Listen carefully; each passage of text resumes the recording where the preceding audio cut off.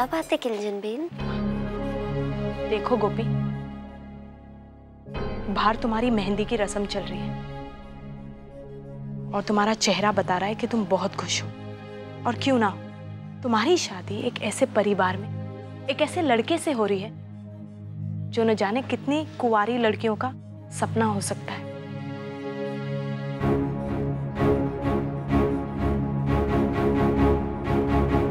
मुझे एक बात सच सच बताओ। क्या तुम्हारे दिल में पल भर के लिए भी ख्याल नहीं आया? कि तुमसे पहले किसी और लड़की ने मेरे भाई को अपना सपनों का राजकुमार की तरह देखा होगा?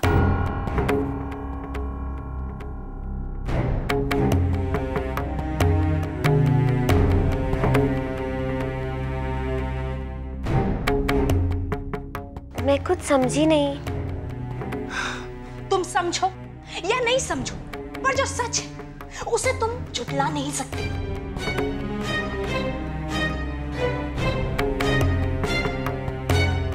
कौन सा सच? वाकई? वाकई तुम्हें वो सच दिखाई नहीं दे रहा या फिर तुम देखना नहीं चाहती? अरे भाई हल्दी मेहंदी संगीत न जाने कितनी रस्में हो चुकी हैं पर क्या एक बार भी तुमने मेरे भाई के चेहरे पे मुस्कुराहट देखी?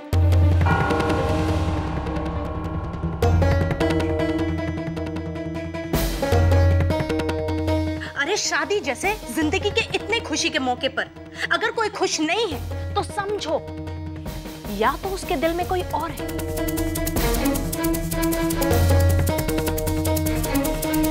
या फिर वो ये शादी ही दबाव में आकर कर रहा है।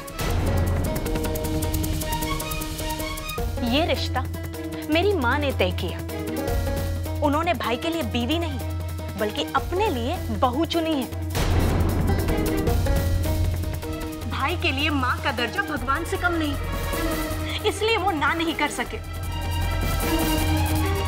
उसने अपने दिल और अपने सपनों को मार डाला।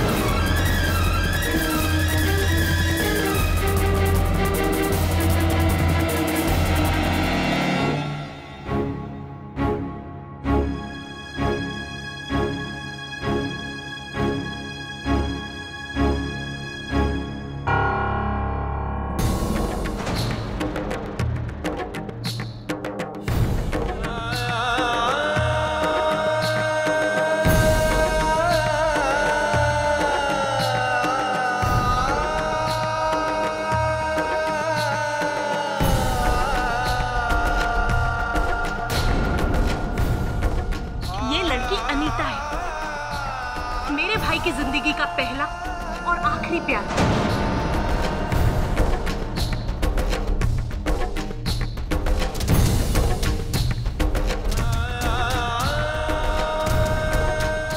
अगर इतना सब देखने और जानने के बाद भी तुम्हें मेरे एम भाई से शादी करनी है तो शौक से करो।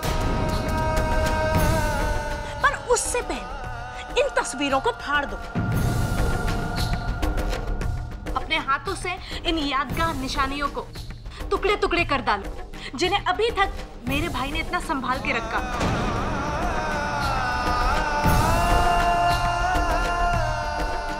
ये सब मैं तुम्हें इसलिए कह रही हूँ, क्योंकि शादी के बाद जब जब वो इन तस्वीरों को देखेंगे, वो हर पल तड़पेंगे। वो हर पल तुम्हारे साथ लिए उन सात फेरों से, खुद अनीता को दिए उन सात वचनों को भुलाने की नाकाम कोशिश करेंगे।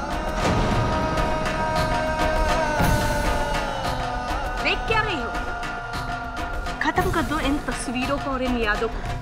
फाड़ डालो इन तस्वीरों को।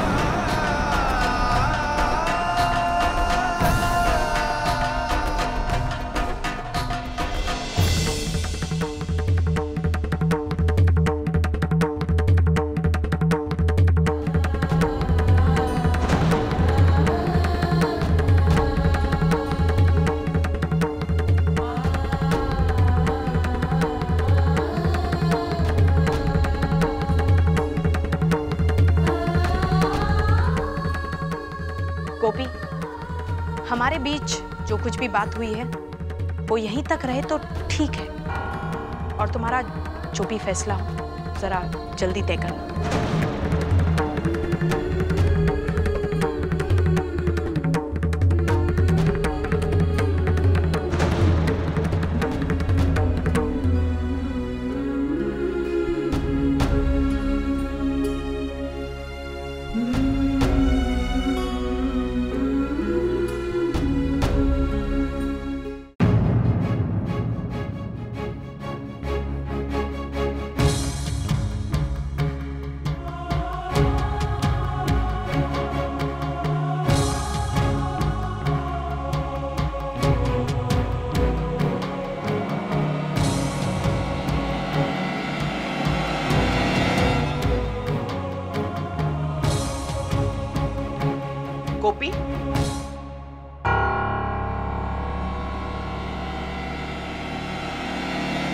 गोपी तुम यूँ अचानक कहाँ चली गई थी?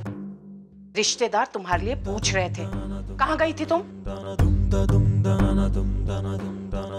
गोपी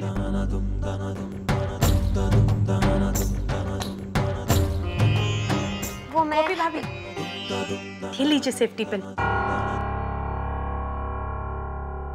आपको चाहिए थी ना?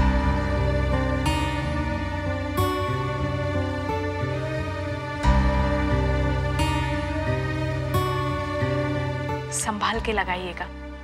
चुप गई तो बाद में तकलीफ़ होगी।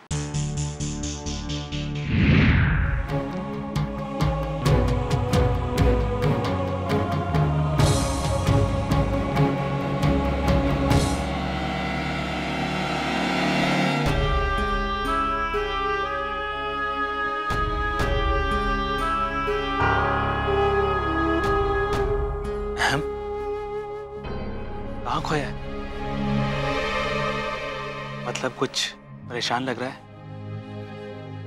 मैं? और परेशान? नहीं तो। मैं जानता हूँ हम तू सदा से अपनी माँ का दिखरा रहा है। लेकिन एक पिता होने के नाते मैं तेरे मन को अच्छी तरह पहचानता हूँ कि तेरे मन में क्या चल रहा है। सच बता कुछ सोच रहा है ना तू? गलत फहमी है। मैं बिल्कुल ठीक हूँ।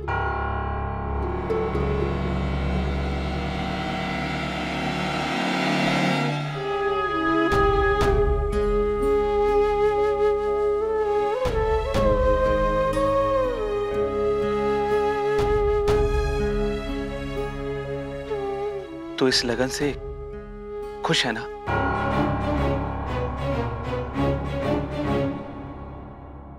कैसे पिता हैं आप?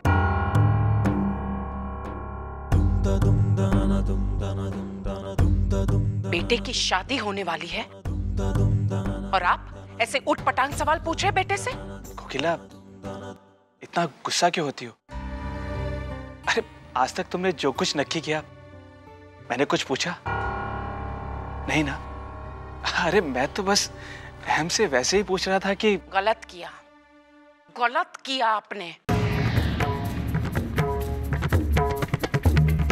ऐसे मौके पर ऐसे सवाल पूछे जाते हैं?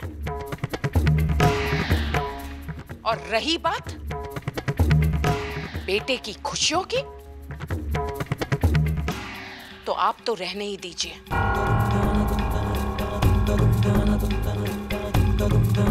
चले हैं बेटे की खुशियों की फ़िक्र करने। मेरे दिक्र अहम की खुशी के बारे में मैं बराबर से अच्छे से सोचती हूँ। समझे आप?